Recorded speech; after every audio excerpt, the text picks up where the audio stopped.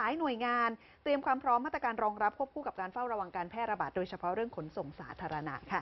เริ่มจากคุณจิรุตวิสารจิตอธิบดีกรมการขนส่งทางบกเผยว่าทางกรมได้จัดโครงการรณรงค์ป้องกันและลดอุบัติเหตุทางถนนของกรมการขนส่งทางบก ประกอบด้วยกิจกรรม สแกนเข้มรถโดยสารทุกสถานี โครงการตรวจรถฟรีขับขี่ปลอดภัย โครงการจุดให้บริการทั่วไทย ร่วมกับสำนักงานคณะกรรมการอาชีวศึกษานะคะในการตรวจความพร้อมจุดเช็คเช็คกิ้งพอยต์และก็ rest area มาตรการขอความร่วมมือผู้ประกอบการขนส่งด้วยให้รถบรรทุกหลีกเลี่ยงการขนส่งในช่วงเทศกาลก็ยังคงมีอยู่ค่ะ ซึ่งทุกกิจกรรมดำเนินการภายใต้มาตรการสาธารณสุข ป้องกันการแพร่ระบาดของโควิด -19 เพื่อเตรียมความพร้อมอำนวยความสะดวก และก็ความปลอดภัยให้กับประชาชน ที่ใช้บริการรถโดยสารสาธารณะ และก็ขับขี่รถส่วนบุคคลในช่วงปีใหม่นี้ โดยเฉพาะกิจกรรมสแกนเข้มรถโดยสารทุกสถานี ก็คือจะตรวจความพร้อมของรถโดยสารสาธารณะ และพนักงานขับรถหมวด 2 ก็คือเส้นทางกรุงเทพไปยังต่างจังหวัด แล้วก็หมวด 3 คือระหว่างจังหวัดทุกคัน ตามแบบรายงานการตรวจสอบรถโดยสารและผู้ขับรถ ที่สถานีขนส่งผู้โดยสารและจุดจอดรถทุกแห่งทั่วประเทศนะคะ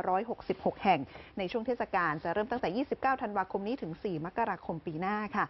ส่วนผู้ใช้บริการรถไฟฟ้าที่กังวลปัญหาการระบาดของโควิด -19 ทาง BEM นะคะ ทางด่วนและรถไฟฟ้ากรุงเทพบอกว่า ตอนนี้ผู้บริหารยืนยันว่าทั้งสายสีน้ำเงินและสีม่วงมีมาตรการป้องกันโควิด -19 อย่างเข้มงวด เช่นบังคับให้ผู้โดยสารทุกท่านต้องสวมหน้ากากอนามัยหรือหน้ากากผ้าตลอดเวลาที่อยู่บนรถไฟฟ้าจะคัดกรองอุณหภูมิผู้โดยสารก่อนเข้าใช้บริการให้ไม่เกิน 37.5 องศา